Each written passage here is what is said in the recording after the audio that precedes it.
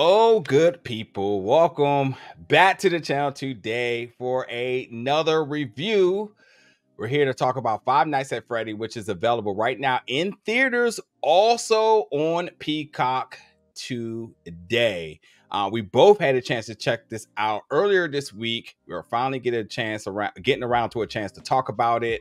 And as I mentioned, it is in theaters and on Peacock today. And that's truly uncharted territories. Usually, if there's a streaming release, the theatrical release is weeks or something beforehand. Uh, but uh, Peacock and Universal, they they had the confidence behind this, and then it paid off because this movie is tracking 85 million dollars opening weekend, which is insane. Before I even get into this movie, I have got to make a fair warning that I have not played the game. I have watched a lot of Twitch. This obviously is great for content, whether you are on the 3D Oculus or whether you're playing it on um, any console or even PC. So yeah, that's that's sort of my introduction to the name. Um, we were at New York Comic Con. There was a big panel for this. I got a chance to meet Jason. I mean, Jason Blum had uh, endless things to present that weekend. Um, and, and and frankly, this is his second movie this this month. not this year, this month. Yeah. So why not check this out? There's a lot of reason. Obviously, this has a cult fan base. $85 million opening weekend for a movie that is releasing on Peacock at the same time. When wow. I left the screening, kids said this was perfect. My adult self said, What did I miss? because I got to tell you that it wasn't all clicking for me. There was absolutely some things that I just was just lost about. I don't know, but I'm gonna I'm going to talk about the things I did like. First of all, the animatronics, top tier. And thank God I have not seen this when I was a kid because I would never go to Chuck E. Cheese ever again. but in fact, as an adult, I'm ready to go to Chuck E. Cheese and go see what they talking about because seems like seems like there's some beef out there that I don't know about but I'm ready to pull up on that. Um, I really did love the music, and it's by no other than the Newton Brothers, who, if you just watched the recent Goosebumps, the same folks. So I, I, I, you know, a lot with the production was stellar. The production overall was good. Blumhouse production, the name alone sells. Um, but I was very impressed by not only the music, uh, but the production, and I'll talk a little bit more about the acting, but truly, um, the highlight for me was the music. And then when you even look, if, if y'all don't know who the Newton Brothers is, go look at their resume because when you talk about some of the hottest shows out right mm-hmm. now, the fall of the House of Usher. If you're not watching that, go do so. The Midnight Club, which was very good last year. If you didn't watch that, obviously I mentioned Goosebumps, and also they're credited to X Men '97, which is coming out next year. That's only the things I listed within a year and a half span. They when you talk about music for for films and television, oh yeah, they're they're they're they're among the elite. So, but yeah, my my biggest thing is that I just I'm I'm not the demo. I'm not the mm-hmm. demo. There's things that just didn't work for me. Um, there was moments I was just completely confused that maybe I thought I need to know more about the source material. There was times where it was sort of funny, it definitely was nothing but imp- uh, implied horror and gore. I mean, somebody definitely get their body chewed halfway off. There's even great. moments where you're just like, "Oh, this is definitely Saw," which is really fitting because Saw X just came out and then yeah. they didn't go full the full way with it. So I'm like, "Oh, what blown opportunity there?" But clearly because the kids love this. Mm-hmm. So I want to say that I felt like they serviced the kids and their cult audience good. If you are an uncasual, you're going to be like me and like, I think I missed something. I think I missed something, but that's enough of me talking. And every you, every one of you all probably mad at me right now because I love this so much and how good it was, which is fine. Don't take it out on zero. Um, and I already know she has opposite feelings of mine. So let's hear it. How, okay. how, how great was it? Tell me how perfect it was. It's like those kids Our that came feelings. Out. Stop it right now. First of all, our feelings are not that different. I am purely looking at this for the kiddos.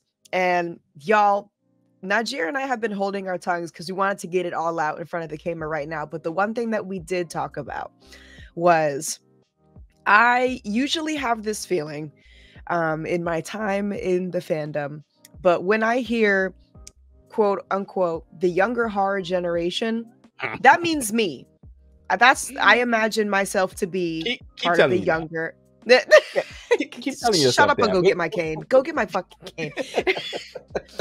I, I I think of myself as the younger generation of horror fans. I was born in the 90s. Most of the horror boom was in the late 70s and 80s. I get it. That means me. I'm the young guns.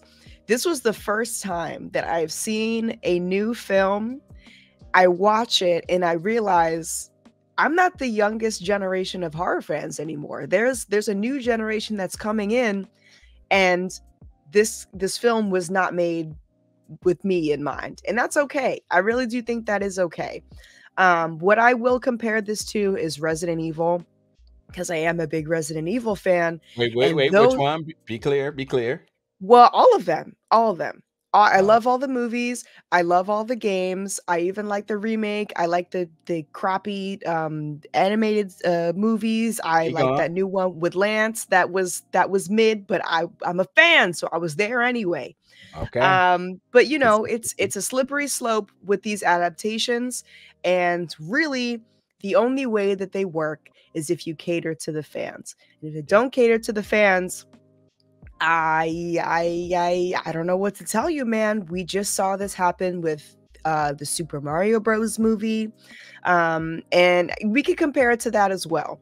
And I was also at Comic Con. I was also in that panel for for Blumfest when Jason Blum came out and he talked about all of his movies. He brought out the director. Her name was Emma Tammi, and she talked a little bit about how they were going to, well, you know, past tense, but how they decided on their avenue with this film. And they made a very bold choice. And although a bold choice it was, and it definitely has and will continue to ruffle some feathers, I do think it was the choice with the best outcome. So the choice that they made was for the fans. This movie was specifically made for Five Nights at Freddy's fans. Jason Blum also mentioned, hey, if you're not inside of this demographic and you pull up to the film and you enjoy it, that's awesome, but it's not made for you in mind. And I respect that because an IP like this, the stakes are very high. I don't think you would want to mess this up. And you know the Blumhouse fans cuz I I saw the potential with the Chainsaw Awards last year when the the kids came out of the woodwork for the black phone and they just swept. So I know the potential. I know how high the stakes are for this. So when I was in the theater, um there was a lot of children. There was a lot of children, okay? But I myself, I played the first game. I thought it was fun. It was, you know, edgy. It was unique. It was a little different and and scary. For the record, the games are not ma- made for children. That just kids just kind of found it. Yeah, I, I mean, I, I think it's because, and I, I was saying this coming out of the theater. I think it's popular because it's content worthy. hmm I think people look at it and they say, I can make con I mean, the jump scares is clearly what everybody's making their montages around. Like, that's just what it is. So people like, it's fun to see people react, or people like to see me react. It's content worthy. And that's why I Mhm. like when you talk about like when I when I when I talk about the source materials, like I, I don't see how the game adapts to a a script that gives you a Well, it we did. are- it, it, it didn't at all and I, and i'm guessing that's what you're saying like they decided to say we're just going to create our own story of things with with the characters or whatever that you know like either way it's still well, yes if- and no. okay yes go- and go no to it. that. Yes, because um this whole new story with Mike, who's played by uh, Josh Hutcherson, Mhm. you know, he's in a hard place. He has to, uh, you know, emotionally and financially support his younger sister because he is her primary caretaker. Yeah. He's only a guy. he's dealing with his own trauma from his childhood so he's Mhm. got to somehow make this work that's not found anywhere in the games That is Yeah. a completely new concept but Yeah. everything else surrounding the lore of freddy fazbear's pizza all that stuff is canon. And playing the first game you're not going to get all of that. Um, i think there's actually 11 games total. So it is deep. There are 11 games. There's probably like 30 books uh, ranging from young adult novels to graphic novels. Um, there's even like uh, you know canon web stories. The amount of lore that five nights of freddy's possesses is Yeah. almost unfathomable. And the the writers definitely did do their research. I wouldn't be surprised if they even hired some consultants who were in the community to get it right. Okay. and you can tell because comparing it back to when uh, resident evil welcome to raccoon city came out as a fan sitting in the theater they would throw in these easter eggs and you know when they happen all the fans in the theaters get excited. So for somebody like me who's not a, fa- a fan of five nights at freddy's when that happens in the theater and you know a character says something or it pans to uh, you know a, a corner of the scene and we see something and the audience gets a little restless and then they start whispering that's a good sign because that tells me that that means something in the greater fandom that you had to you know do your research to figure that out and i think at the end of the day that's really all the fan what the fans want and these kids and also uh, let me tell you why this is very clever to use five nights at freddy's you know and market it to children and have it be gateway horror for them. It's an interesting concept. So five nights at freddy's the games originally or the first game originally it's not made for kids. It's got scary jump scares. Actually the whole game is just how long can i avoid a jump scare and not die? So here's here's the simulation. A child comes home i say mom i want to play five nights at freddy's. My mom tells me no that game is for adults. I say okay so what am i going to do as a six year old a six to eight year old i'm going to go on the internet i'm going to google i'm going to find all these books i'm going to find these two hour long uh, video essays explaining all the lore which is honestly a, a lot more graphic than the games are themselves about you know uh, killing sprees in the 80s child abduction what they do with the bodies which was all put into the narrative of five nights at freddy's the movie. Um, so all those kids that are you know eating it up are seeing the lore that you know they had to do some deep dives for at least our child version of what a, a deep dive is on the big screen and that's really exciting and that's why we have x amount of millions. But the other reason why this is great—a perfect opportunity for gateway horror is this is a pg-13 movie. So you know if i'm nine years old and i want to get in i'm going to have to bring my parent with me. Now if you're a cool enough parent to go along with your kid to see five nights at freddy's I think there is a 40% chance that that parent might be a horror fan. And guess what?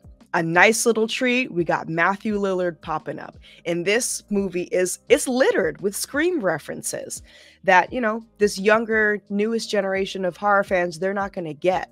But if their parents are cool enough to, you know, bring them in to see Five Nights at Freddy's and get into the genre and you know maybe get a little bit addicted like all of us once were when we were 9 or 10 you know later down like later down the line in in their you know experience in the genre when they move up in the genre and they're able to watch things like scream it's all going to make sense. And it's really just the best i know grooming has a terrible connotation but it's grooming the next set of horror fans. And this is a perfect opportunity for gateway horror and i think that it accomplished everything that it was set out to do.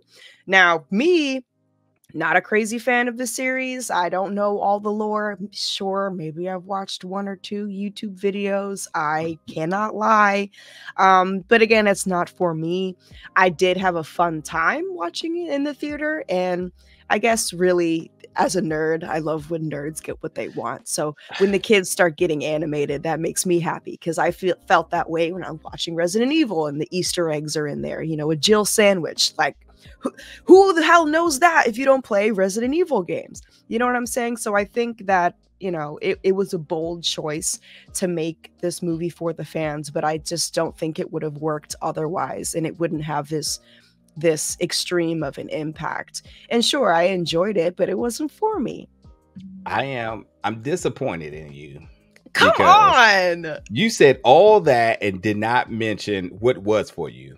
And obviously Matthew Lillard being in there is like that's that was like oh cameo, but it's actually ends up being like a character. but it's a Mhm. um, but um, obviously Scream folks and and Shaggy, if you don't know, like the Sure. iconic voice of Shaggy.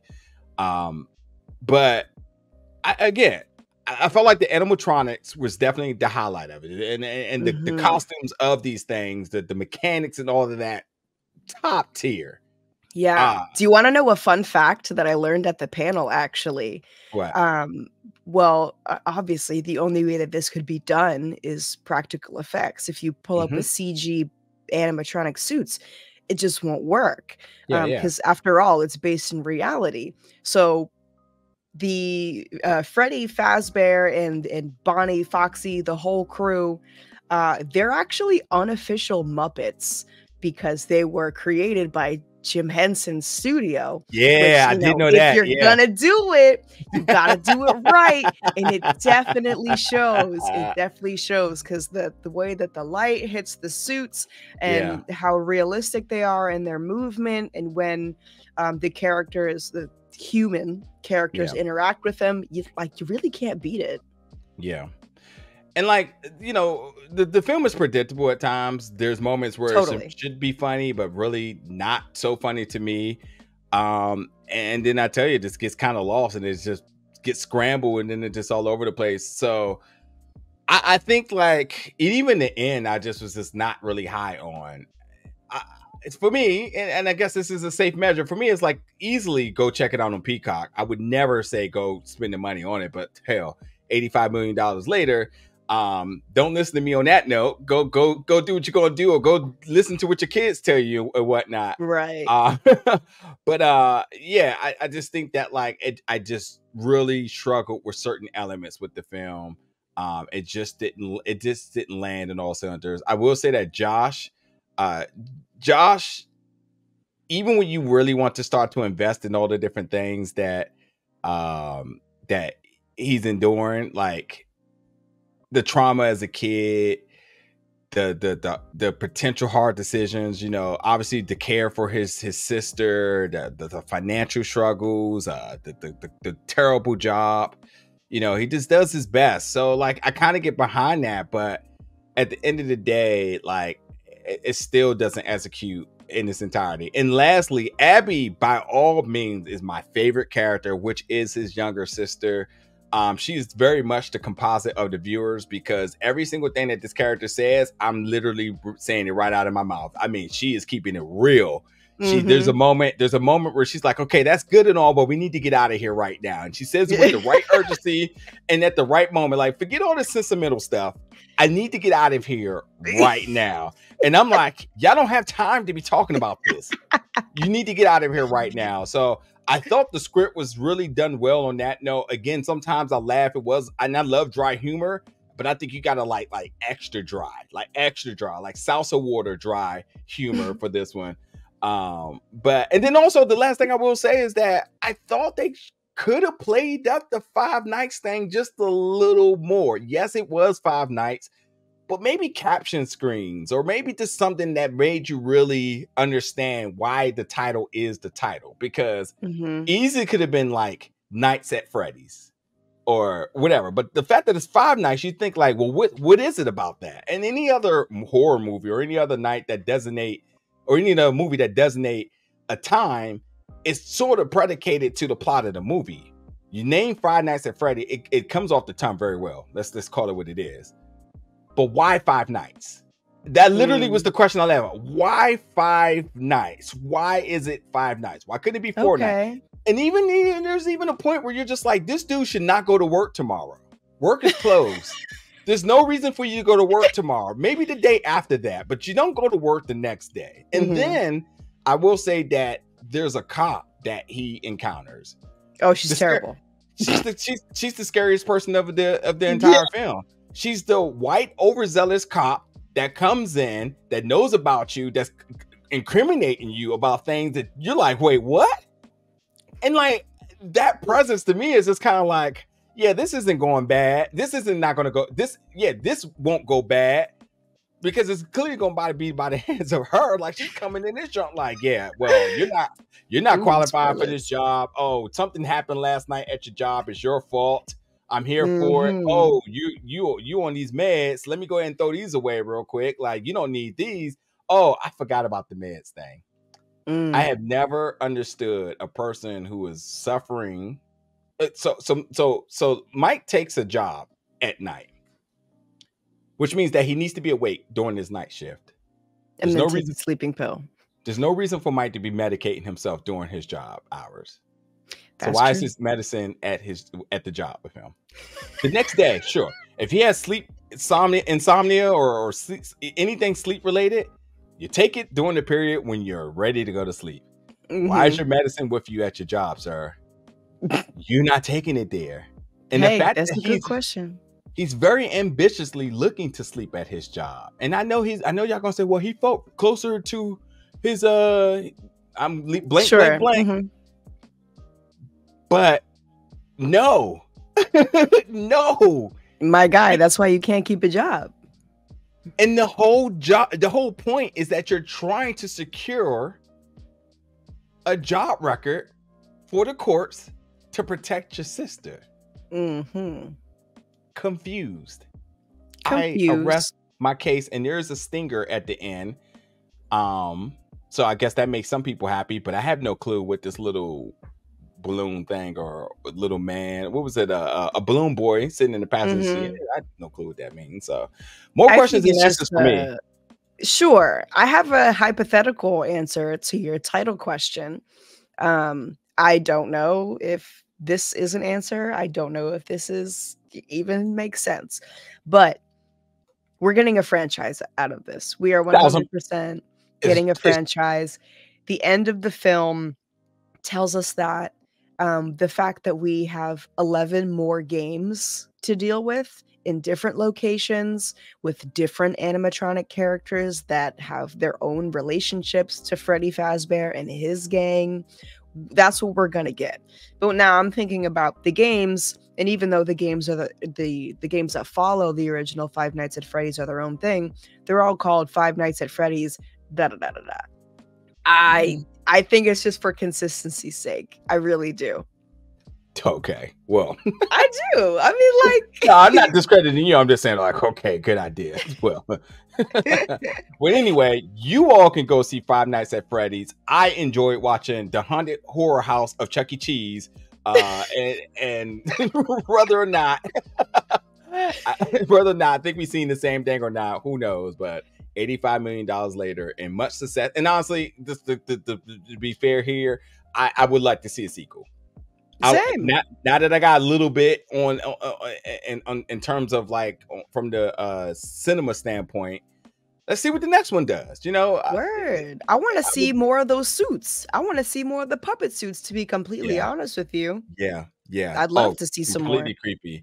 So yeah, y'all can catch me at Chuck E. Cheese. I'm gonna be seeing Chucky on a one-on-one fade. It's it's going down. YouTube ready.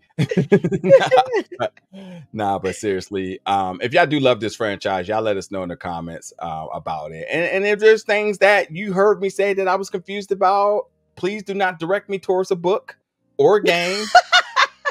Explain it in the comments here. It's my non-experience to the franchise perspective of the new film that you would hope that the film would introduce and make one people want to be a part of the community and the franchise. But this one definitely just left me with more questions. I it did not make me pick up a desire to play the games. I still watch it on Twitch, which is fun because I like how people are having fun with it.